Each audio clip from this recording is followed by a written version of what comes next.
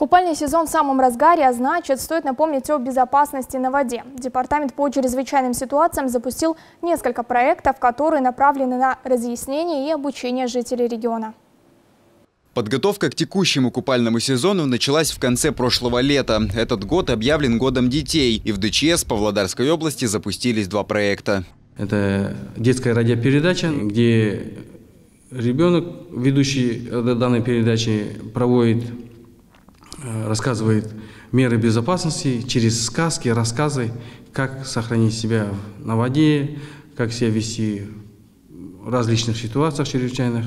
Второй новый проект запустился ко Дню защиты детей. Каждую пятницу весь купальный сезон на Центральной набережной проводится обучение. С начала купального сезона в Павлодарской области утонули уже 10 человек. И в связи с этим спасатели проводят усиленные профилактические рейды. Кроме того, на Центральной набережной Павлодара для жителей города проводят мастер-классы по оказанию первой медицинской помощи. В уроках на свежем воздухе могут принимать участие люди разных возрастов. В основном на них показывают, как оказывать доврачебную помощь, как себя вести в чрезвычайных ситуациях и как оказывать помощь утопающим, бросать спасательные круги и тому подобное. Также еще хочу сказать, э, с начала купального сезона у нас проведено более 700 рейдовых мероприятий, где было распространено более 18 тысяч памяток по области.